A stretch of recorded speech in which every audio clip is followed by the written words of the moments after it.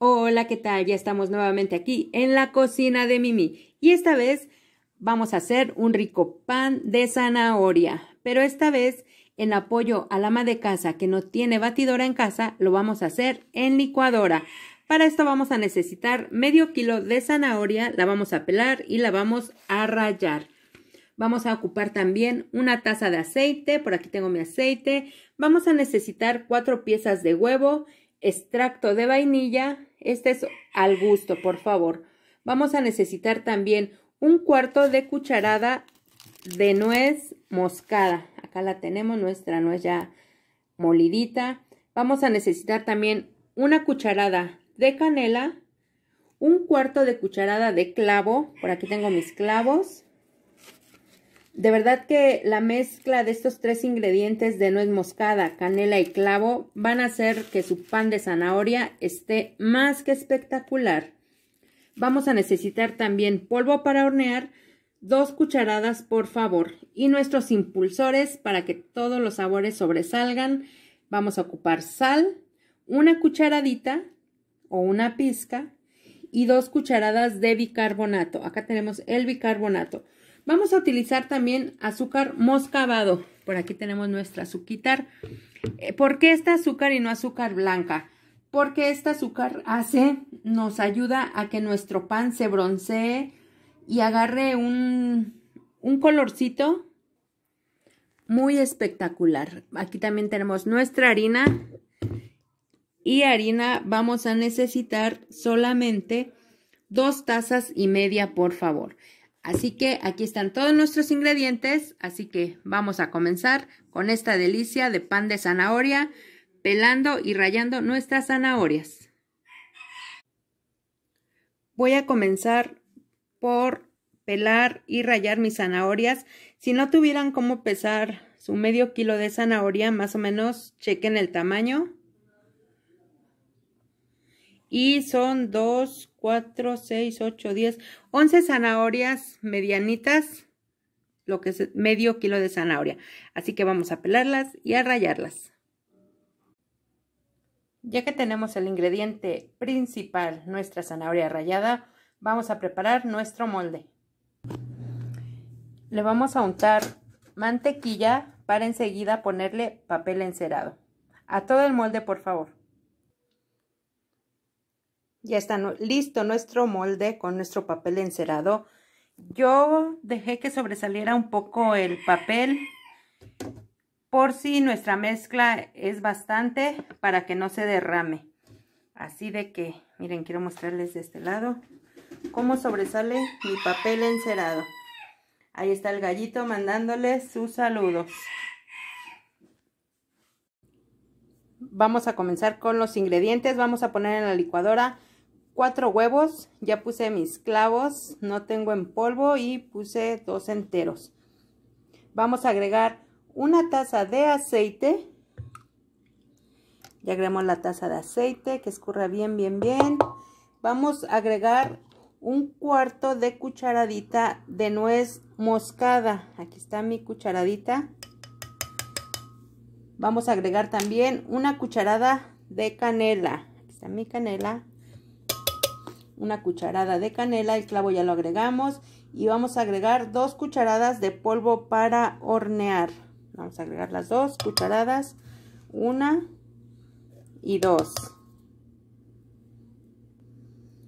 Una cucharadita de sal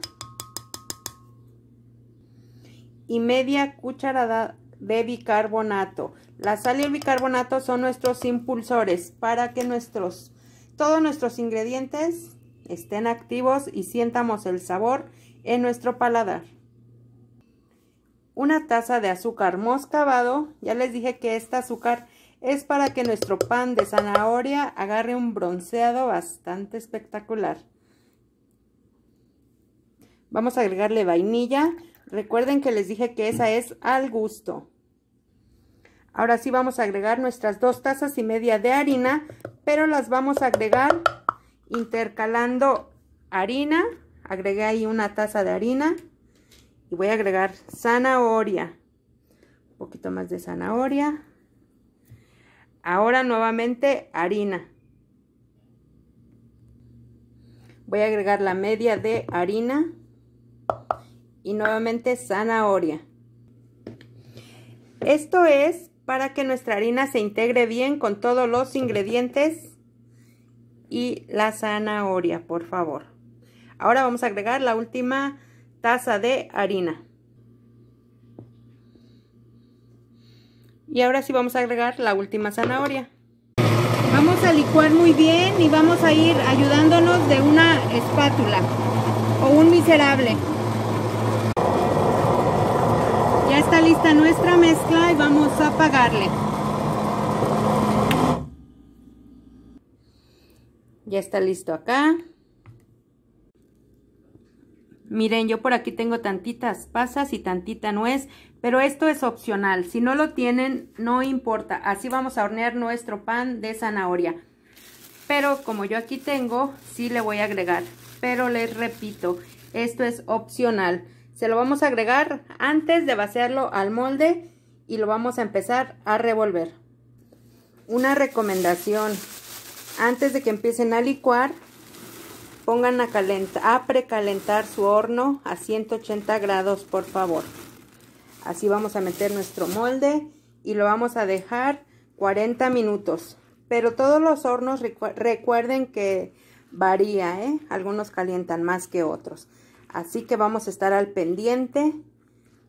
Recuerden que ya que crean que está su pan, vamos a meterles un palillo o un cuchillo y cuando salga limpio quiere decir que ya está listo. Ya incorporé todo, ahora sí vamos a vaciarlo a nuestro molde que ya tenemos listo. Vamos a empezar a agregar la mezcla con mucho cuidado, por favor. Vamos a agregarlo todo, todo, todo. Ya agregamos la mezcla y yo les aconsejo que le den un golpe en la parte baja para que caiga toda, toda la mezcla y no quede un hueco abajo, un hueco, perdón. Vamos a llevarlo al horno. Ya debemos de tener nuestro horno precalentado para meter nuestro rico pan de zanahoria. Ahora sí vamos a esperar 40 minutos. Miren nada más cómo va nuestro pancito de zanahoria. Vamos a checarle si ya está. Ya saben, un cuchillo o un tenedor. Todavía sale muy, muy poco sucio. Vamos a dejarlo 5 minutos más y ya le apagamos. Ya dejé pasar los 5 minutos más. Vamos a checar. Y ya, ya está nuestro pan, ya sale limpio. Vamos a dejarlo, vamos a apagar el horno y vamos a dejar un rato adentro el pan, por favor. En un ratito lo sacamos para ver cómo quedó por dentro. Pues aquí está nuestro pan de zanahoria, ya lo sacamos. Y se siente esponjosito. Vamos a sacarlo del molde para ver qué tal nos quedó. Vamos a retirarle el papel encerado.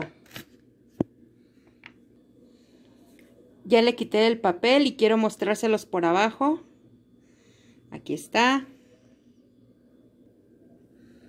Miren el color bronceadito que tomó gracias a nuestra azúcar moscavado y por supuesto a la zanahoria. Ahora, yo no le voy a poner ningún relleno, pero si ustedes quisieran ponerle relleno, les aconsejo que corten esta parte, la parte pachoncita, la pancita. Vamos a partirlo para ver qué tal nos quedó por dentro lo voy a partir acá con ustedes para ver qué tal quedó.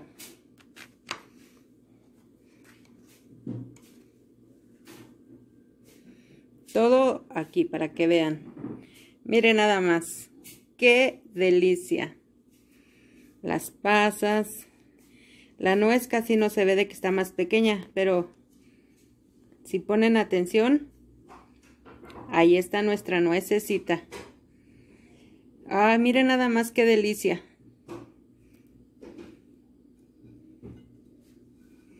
No lo estoy pausando para que ustedes vean el resultado. Aquí nos quedó un pedacito, el piquito. Mmm, de sabor está espectacular. Miren nada más. No está duro. No quedó masudo. De verdad que tiene un sabor muy, muy rico. Se siente el sabor del azúcar, la vainilla, la zanahoria. El paladar siente todos los sabores. Anímense a hacer este delicioso pan de zanahoria. Les voy a confesar un secreto. En la licuadora es la primera vez que lo hago. Me puse a ver tutoriales para apoyar a las mamás que no tienen batidora. Y pues como podrán ver, fue todo un éxito en la licuadora.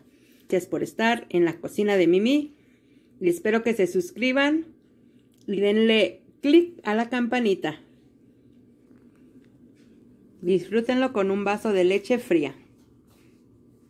Hasta el próximo video.